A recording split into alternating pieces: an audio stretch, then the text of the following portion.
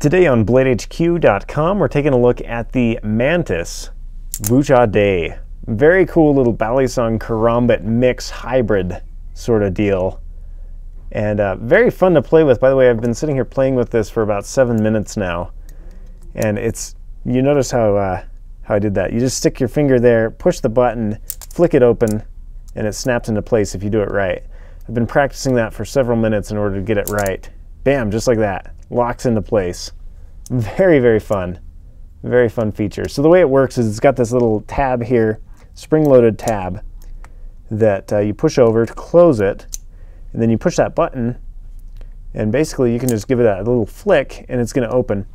So that, that tab, once it's open, flicks into place and locks the blade in place.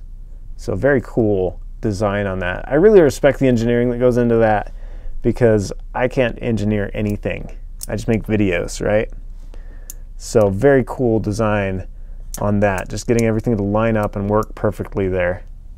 You have to respect that. Have to respect that. So pretty cool. Let me uh, go over the specs on this with you. The overall length on this blade is six inches. Karambit style. It's kind of got that mantis look to it, the jimping there. Fits nicely in the hand. You get your pinky in that, that hole there. And uh, plenty of room in hand for this blade.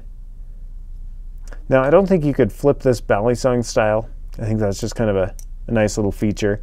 The pocket clip on it is kind of a deep carry clip, but you're going to still have parts poking out there. Show you that. And it is reversible as well.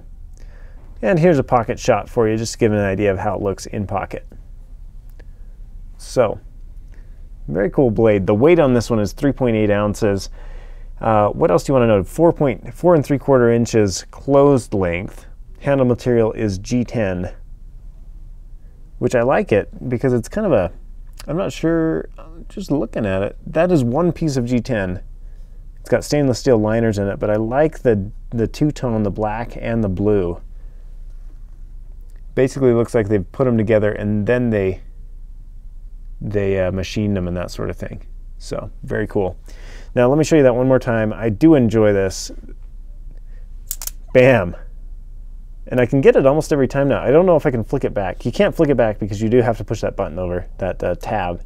But that is a fun little feature of that knife.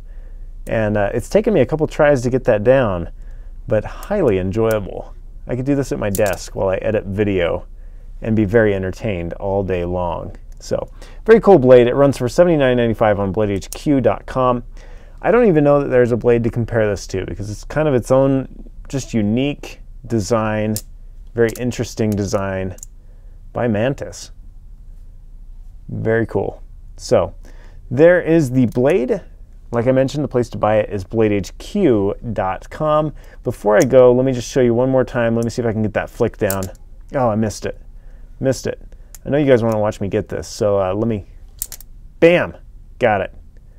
So, oh, yeah, got it. Anyway, buy this blade at bladehq.com. Thanks for watching, guys, and what else do you want to know? Be sure to uh, shop at Blade HQ, and uh, if you have any requests for videos, be sure to let me know. I'm happy to uh, throw these on the list. In fact, this one was requested by, requested by a YouTuber, so I figured I'd throw it together for you guys and just kind of give you an idea and uh, tell you to buy it at Blade HQ. So thank you for watching, and we'll catch you with another overview.